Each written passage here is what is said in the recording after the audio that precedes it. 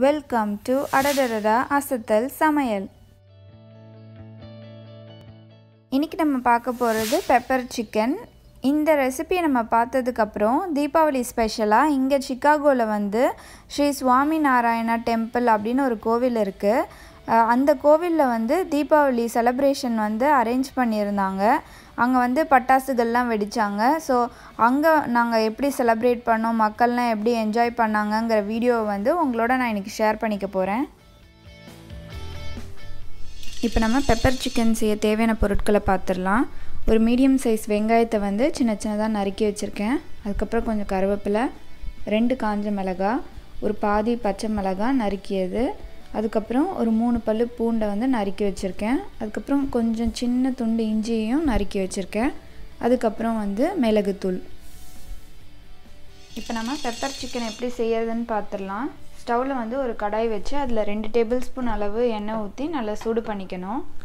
எண்ணெய் நல்லா சூடானதும் இதில் வந்து பட்டை கிராம்பு இதெல்லாம் சேர்த்துக்கணும். இது கொஞ்சம் பொரியட்டும். இப்போ இதில் கொஞ்சம் சோம்பு சேர்த்துடலாம். இப்போ இதெல்லாம் நல்லா பொரிஞ்சதும் நம்ம நறுக்கி வச்சுருக்க வெங்காயத்தை சேர்த்துடலாம்.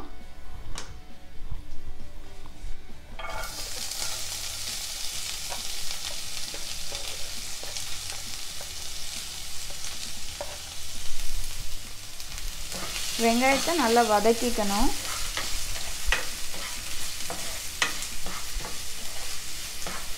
நல்லா பொன்னிறமாக ஆகுற வரைக்கும் இதை நம்ம நல்லா வதக்கிக்கலாம்.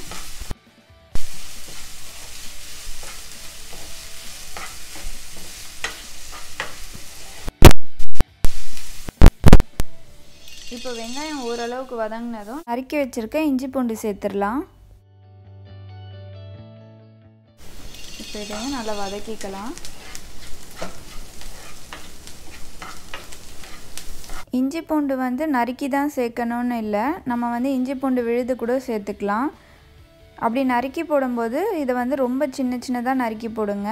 ஏன்னா வந்து சாப்பிட்றவங்க வந்து பெருசாக இருந்துச்சுன்னா அதை ஈஸியாக எடுத்து வெளியே போட்டுருவாங்க. இஞ்சி பூண்டு வந்து நம்ம உடம்புக்கு ரொம்ப நல்லது.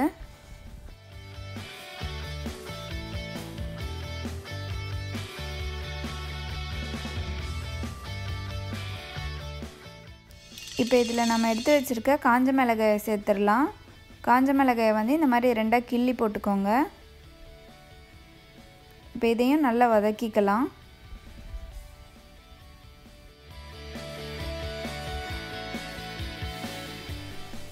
இப்போ இதில் நம்ம நறுக்கி வச்சுருக்க பச்சை மிளகாயை சேர்த்துடலாம். பச்சை மிளகாய் வந்து ஒரு ஃப்ளேவருக்காக தான் வந்து சேர்க்குறோம். இது நீங்கள் வேண்டாம்னா சேர்க்க வேண்டாம். ஏன்னா நம்ம இதில் பெப்பர் போட போகிறோம் காஞ்ச மிளகாவும் குண்டு மிளகாய் சேர்க்க வேண்டாம். அது காரமாக இருக்கும். இன்னும் நீட்டு மிளகாய் சேர்த்துக்கோங்க. நீங்கள் நிறைய காரம் சேர்த்திங்கன்னா இது மூணுத்தையும் சேர்த்துக்கலாம். அப்படி இல்லைன்னா நீங்கள் வந்து பெப்பர் மட்டும் சேர்த்துட்டு அப்புறம் காஞ்ச மிளகாய் சேர்த்துக்கலாம். இதை வந்து நல்லா வதக்கிக்கலாம்.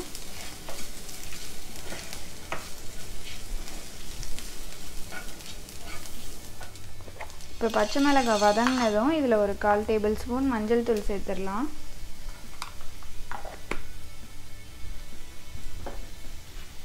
அதை நல்லா வதக்கிக்கலாம். அதோட பச்சை வாசம் போகிற வரைக்கும்.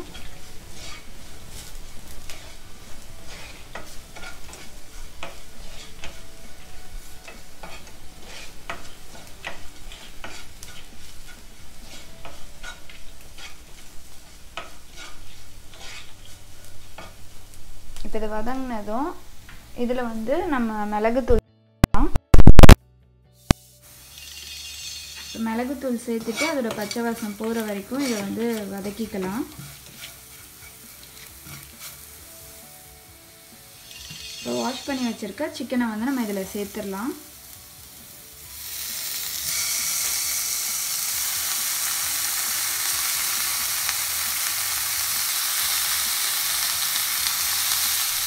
இப்போ சிக்கனை சேர்த்துட்டு இதை நல்லா மசாலாவோடு மிக்ஸ் பண்ணி விட்டுடலாம்.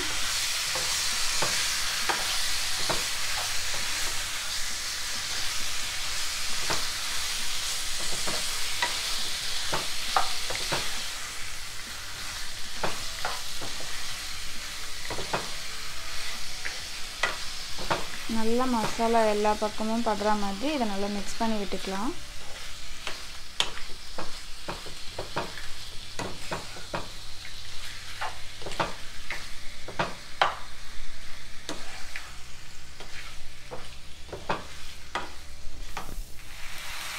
இப்போ இதில் தேவையான அளவு உப்பு சேர்த்துடலாம். உப்பு சேர்த்துட்டு இதை வந்து நல்லா மிக்ஸ் பண்ணி விட்டுக்கலாம். இப்போ இதை மூடி வச்சு நல்லா ஒரு பத்து நிமிஷம் வேக வச்சிடலாம். இப்போ பத்து நிமிஷம் ஆயிடுச்சு நம்ம சிக்கன் வெந்துருச்சான்னு பார்க்கலாம். சிக்கன் வந்து ஓரளவுக்கு வெந்துருச்சு. நான் இதில் தண்ணிலாம் எதுவும் ஊற்றலை இதை மூடி வச்சு வேக வச்சதுனால இந்த சிக்கன்லேருந்து வந்த தண்ணி தான் இது. உங்களுக்கு வந்து ரொம்ப இந்த மாதிரி தண்ணி மாதிரி கிரேவியாக வேண்டாம்னா நீங்கள் வந்து மூடி வைக்காமல் ஓப்பன் பண்ணியே வந்து குக் பண்ணிக்கலாம். அப்போ வந்து நமக்கு அது நல்ல சுக்காவாக கிடைக்கும்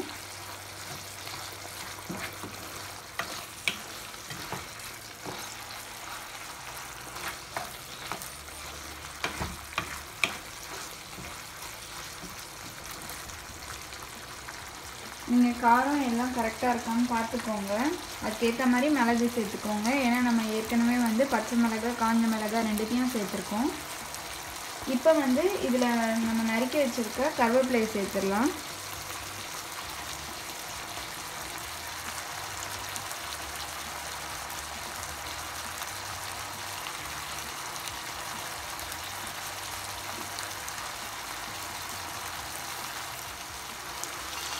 கருவேப்பிலையை சேர்த்துட்டு இதை கொஞ்சம் நல்லா மிக்ஸ் பண்ணி விட்டுட்டு இன்னும் ஒரு ரெண்டுலேருந்து மூணு நிமிஷம் வரைக்கும் இதை வதக்கிக்கலாம்.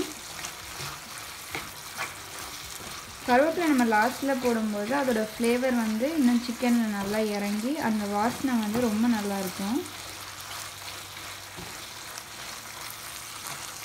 இன்னும் ஒரு ரெண்டு நிமிஷம் வந்து வேக வச்சிடலாம்.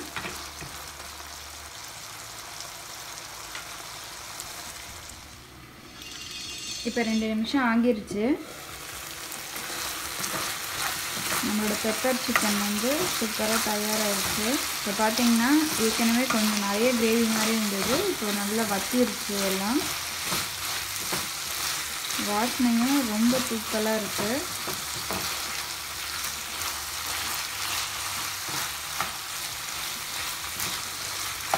சிக்கனும் நல்லா வெந்துருச்சு.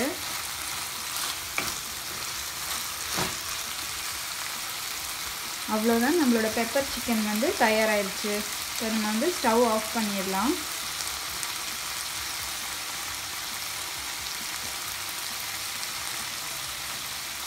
அவ்வளோதான் நம்மளோட பெப்பர் சிக்கன் தயாராகிடுச்சு உங்களுக்கு இந்த ரெசிபி ரொம்ப பிடிச்சிருக்கும்னு நினைக்கிறேன். நீங்களும் உங்கள் வீட்டில் ட்ரை பண்ணி பார்த்துட்டு உங்களோட ஃபீட்பேக்கை கமெண்ட் பண்ணுங்கள் இப்போ நம்ம வந்து தீபாவளி கொண்டாட்டத்தை பார்க்க போய்கிட்டு இருக்கோம். இப்போ நம்ம போயிட்டுருக்கிறது வந்து ஐடாஸ்கா அப்படிங்கிற ஒரு இடம் சிகாகோவில் இருக்குது அங்கே வந்து ஸ்ரீ சுவாமி நாராயணா டெம்பிள் அப்படின்னு ஒரு கோவில் இருக்குது அந்த கோவிலுக்குள்ளே தான் நம்ம என்டர் ஆகிட்ருக்கோம் இதை வந்து என்ட்ரன்ஸ்குள்ளே இருந்து நம்ம போய்கிட்டு இருக்கோம். இங்கே பார்த்தீங்கன்னா ரெண்டு சைடும் வந்து மரத்தில் இந்த மாதிரி லைட்லாம் போட்டு அலங்கரிச்சிருக்காங்க. அங்கே தெரிகிற பில்டிங் தான் வந்து அந்த கோவிலோட கோபுரம். இது வந்து ஒரு நார்த் இந்தியாவில் இருக்க கோவில் மாதிரி இருந்துச்சு பார்க்குறதுக்கு இங்கே இறங்கி இது இது வழியாக தான் உள்ளே போகணும் இப்போ நம்ம வந்து பார்க்கிங்க்கு போய்கிட்டு இருக்கோம் பார்க் பண்ணிவிட்டு அங்கேருந்து நடந்து வர போகிறோம் கோவில் ஃபுல்லாகவே வந்து இந்த மாதிரி லைட்லாம் போட்டு கலர்ஃபுல்லாக இருந்துச்சு. ரொம்ப அழகாக இருந்தது. அலங்காரம் பண்ணி பார்க்குறதுக்கே ரொம்ப செமையாக இருந்துச்சு. இந்த சைடில் பார்த்தீங்கன்னா நீலம் பச்சை மஞ்சள்னு எல்லா கலர் லைட்டும் போட்டிருந்தாங்க. இங்கே போகிற வழி ஃபுல்லாக வந்து வாலண்டியர்ஸ் வந்து இந்த மாதிரி கையில் லைட் வச்சுட்டு நம்ம எந்த பக்கம் போகணும்? அப்படின்னு கைட் பண்ணிகிட்டு இருந்தாங்க.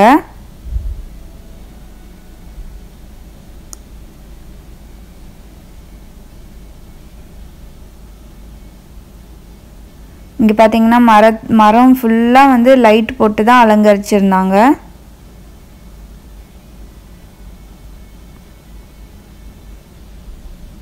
பார்க்கிங்க்கும் வந்து நிறைய இடம் இருந்துச்சு.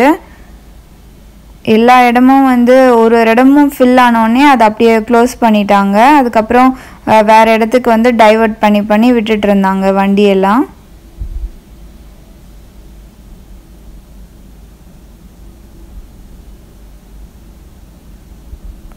இது ரொம்ப பெரிய இடமா இருந்துச்சு. பார்க்கிங்க்கே வந்து அவ்வளோ பெரிய இடம் இருந்தது. கோவிலும் வந்து ரொம்ப பெரிய கோயிலாக இருந்துச்சு. வாலண்டியர்ஸும் நிறைய பேர் இருந்தாங்க.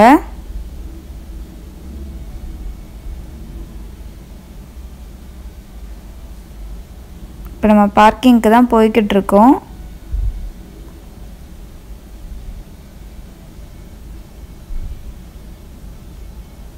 இங்கே வந்து பார்க் பண்ணிட்டு நடந்து போகிறவங்கலாம் வந்து இந்த இந்த பக்கம் ரோட் க்ராஸ் பண்ணி போய்கிட்டு இருக்காங்க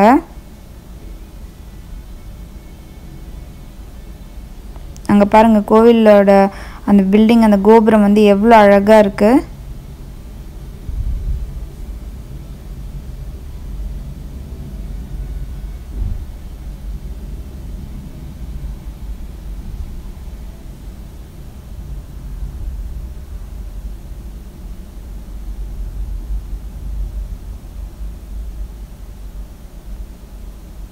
ஓரளவு நம்ம பார்க்கிங் கிட்ட வந்துட்டோம்.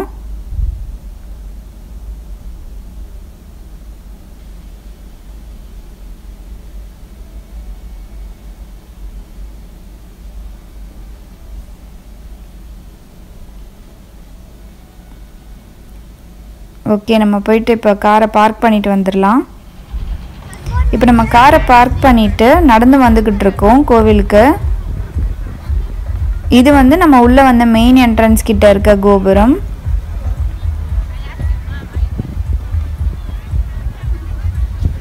இது வந்து கோவிலோட மெயின் கோபுரம். இப்போ நம்ம வந்து இங்கே தீபாவளிக்காக பட்டாசு வான வேடிக்கை வச்சுருக்காங்க. அதை பார்க்க தான் வந்துக்கிட்டு இருக்கோம் கோவிலுக்குள்ளேருந்து.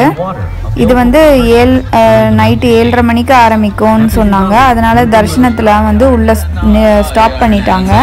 இப்போ எல்லாரும் கோவிலில் இருக்க எல்லாரும் வந்து இந்த மெயின் மண்டபத்துக்கிட்ட வந்து நின்றுக்கிட்டு இருக்கோம். அதை பார்க்குறதுக்காக.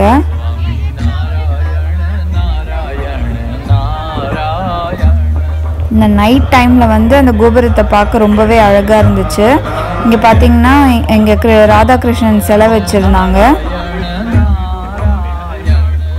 எவ்வளோ மக்கள் இருந்தாங்கன்னு பாருங்கள் டெம்பரேச்சர் பார்த்தீங்கன்னா ஒன் டிகிரி இருந்துச்சு. But one degree feels like three degrees அந்த மாதிரி அவ்வளோ குளிராக இருந்தது. ஆனாலும் எ- எவ்வளோ மக்கள் வந்து இங்கே வந்து இதை பார்க்க வந்திருந்தாங்க.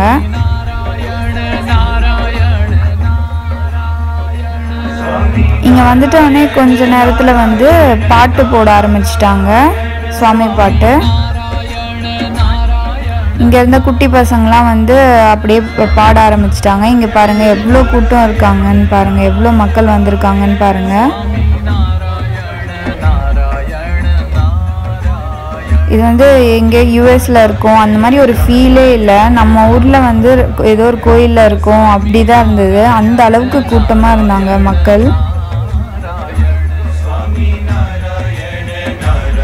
எல்லாமே நம்ம இந்திய மொழிகள் தான் கேட்டுட்டு இருந்துச்சு இந்த பக்கம் தமிழ் கேட்டுட்டு இருந்துச்சு அந்த பக்கம் பார்த்தா ஹிந்தி அந்த மாதிரி நம்மளோட நம்ம நாட்டு மொழி தான் வந்து ஃபுல்லாக கேட்டுட்டு இருந்துச்சு நம்ம நாட்டில் இருக்க மாதிரியே ஒரு ஃபீல் இருந்தது.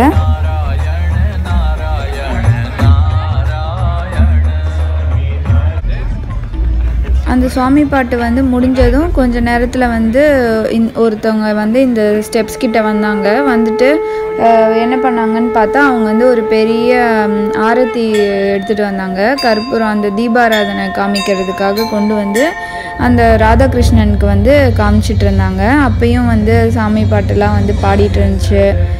எல்லாருமே வந்து அவங்க அவங்க மொபைலில் வந்து வீடியோஸை ரெக்கார்ட் பண்ணுறது ஃபோட்டோ எடுக்கிறது.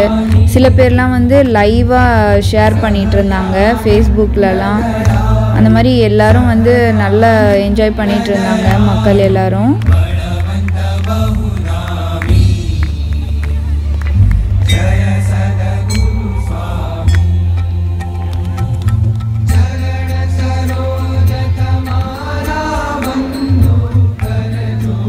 பார்த்தீங்கன்னா அந்த ஹெலிகேம் வச்சு ஷூட் பண்ணிகிட்டு இருந்தாங்க.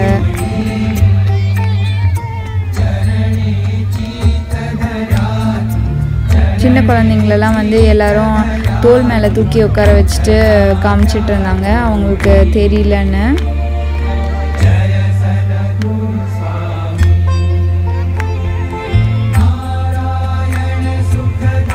இந்த குளிரில் வந்து சின்ன சின்ன குழந்தைங்களையும் கூட்டிகிட்டு வந்திருந்தாங்க. அவங்களும் வந்து நல்லா பார்த்து என்ஜாய் பண்ணிட்டு இருந்தாங்க. அந்த சாமி பாட்டெல்லாம் வந்து பாடிட்டு இருக்கும்போது அந்த குழந்தைங்களும் வந்து அந்த பாட்டெல்லாம் பாடிட்டு இருந்தாங்க.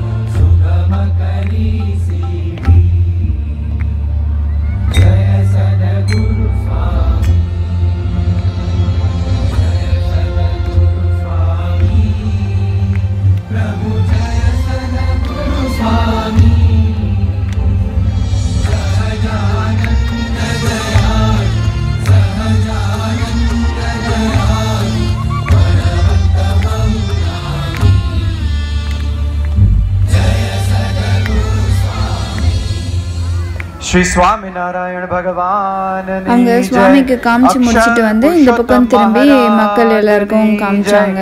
குணாதிதானந்த சுவாமி அப்புறம் ஆரத்தி முடிஞ்சதுக்கு அப்புறம் வந்து ஒரு டான்ஸ் மாதிரி ஒரு கதை சொல்ற மாதிரி ஒரு டான்ஸ் ஈவெண்ட் மாதிரி ஒன்று அரேஞ்ச் பண்ணி வச்சிருந்தாங்க. அது வந்து இங்கேயே நடந்துச்சு. அந்த கோபுரம் அந்த படிக்கட்டு கிட்ட ஒரு ஸ்டேஜ் மாதிரி போட்டு அங்க வந்து பெர்ஃபார்ம் பண்ணாங்க. જય உமாபதி மகாதேவனி ஜெய் இப்போ அந்த டான்ஸ்க்காக அரேஞ்ச்மெண்ட் தான் பண்ணிட்டு இருக்காங்க சாஸ்திரிஜி மகாராஜனி ஜெய் யோகிஜி மகாராஜனி ஜெய் பிரமுக் சுவாமி மகாராஜ் உங்களுக்கு இந்த வீடியோ ரொம்ப பிடிச்சிருக்கும்னு நினைக்கிறேன். நீங்களும் எங்களோட சேர்ந்து இந்த ஸ்ரீ சுவாமி நாராயணா டெம்பிளில் நடந்த தீபாவளி செலப்ரேஷனை பார்த்து என்ஜாய் பண்ணிகிட்ருக்கீங்கன்னு நினைக்கிறேன். நாளைக்கு வந்து நம்ம என்ன டான்ஸ் பர்ஃபார்மன்ஸ் இவங்க பண்ணாங்க அதுக்கப்புறம் வானவேடிக்கைகள்லாம் என்ன நடந்துச்சு என்ன விதமான பட்டாசுகள்லாம் இருந்துச்சு மக்கள்லாம் எப்படி என்ஜாய் பண்ணாங்க அப்படிங்கிற வீடியோ வந்து உங்களுக்கு நான் நாளைக்கு ஷேர் பண்ணுறேன் இப்போ உங்களுக்கு இந்த வீடியோ பிடிச்சிருந்ததுன்னா அடடடட அசத்தல் சமையலுக்கு சப்ஸ்கிரைப் பண்ணுங்கள் லைக் பண்ணுங்கள் ஷேர் பண்ணுங்கள் நன்றி.